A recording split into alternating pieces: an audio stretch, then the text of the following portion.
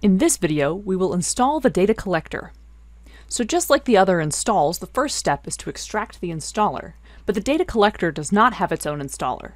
Instead, the installer is bundled inside the data aggregator server. We are on the data collector host right now, so the way we will extract the data collector installer from the data aggregator server is to use a REST call from the command line utility to extract the installer from the data aggregator to a temp directory on the data collector. This process, along with the other ways to get the installer, are detailed in the online documentation as well. We already have a temp directory created on the data collector, so to get the installer we will need to use wget with minus p to the temp directory, and then minus nv with the rest URL to the data aggregator. The data collector installer is named install.bin, and if we look at the URL for the REST call, this is the hostname of the data aggregator. This is the REST port we are using, and this installer.bin file we are extracting. We'll hit enter to get the file, and as we can see, it was very quick as it is a small installer. So next, we'll do a minus altr forward slash temp, and we can see we have the install.bin file. Next, we will change directories to the temp directory, and then execute the install.bin file. But it looks like we need to change the permissions, so we will need to open the permissions so we can execute the installer. And with the permissions changed, we can execute the installer. It is also good to note that usually all the install media is deleted from the servers after everything is done, so changing the permissions is not a security problem. So now for the change locale option, we'll choose English. Next is a quick introduction about running the installer, which is good to review. We'll press enter to continue to the next option, which is the license agreement. We'll accept the agreement. Next, the host evaluation runs, which verifies the host as having the right amount of memory, cores, and the available kernel. Everything looks good, so we can press enter.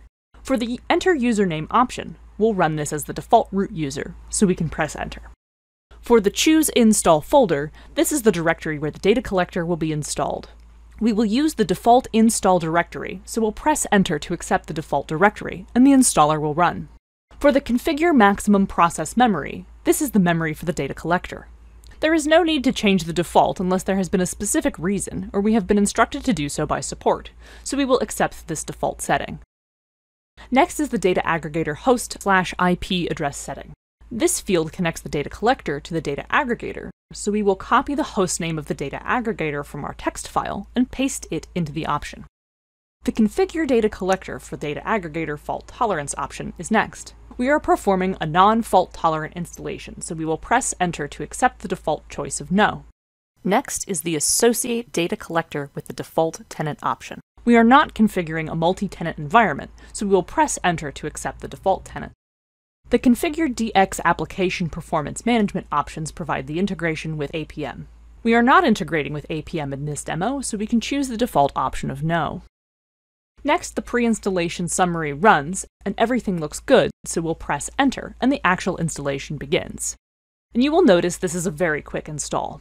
Also, one thing the installer does is associate the data collector with the data aggregator.